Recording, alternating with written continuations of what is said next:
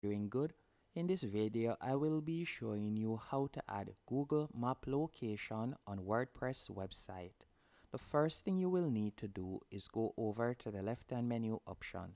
And you can choose for example let's say I would like to add my map location on my about page. You can simply go over to the left hand menu option and select pages.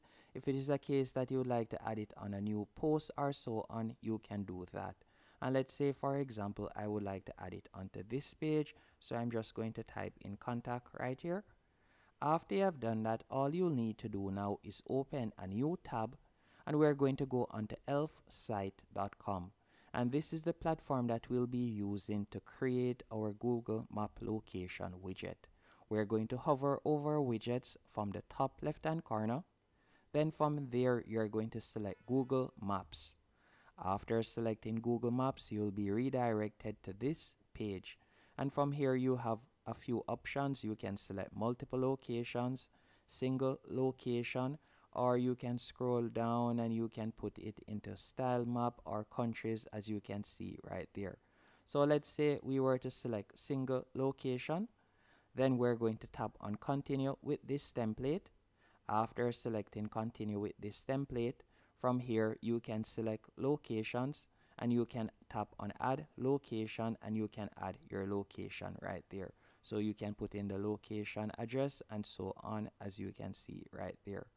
Once you're finished doing this, you can tap on categories. You can also add an icon if you want.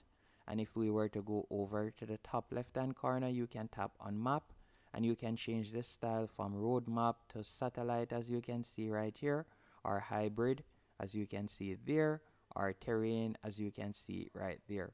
So you can select whichever one of these options best suits you. You can also tap on center and zoom. There are numerous editing options that you have. You can also select interactions and from there you could select scroll wheel as you can see right there.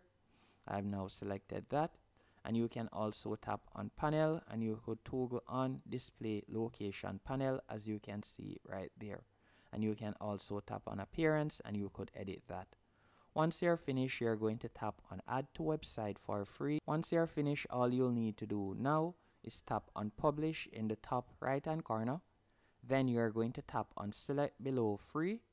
Then after doing that we're going to tap on copy code after you have copied the code, you're going to go back into your WordPress website and you're going to tap right here where you see add block and you're going to select HTML. Then you're going to paste in the HTML code and if we were to tap on preview, you can see how it looks right there. As you can see right there, this is how it looks. And from there, you can tap on publish and it will now be live. And that's it. Hope you found this tutorial helpful and informative. If you did, be sure to hit the like button and subscribe. So if I were to select preview, you can see how it looks right there. So this is how it looks. And someone can tap on search and they can further search. Thank you for watching.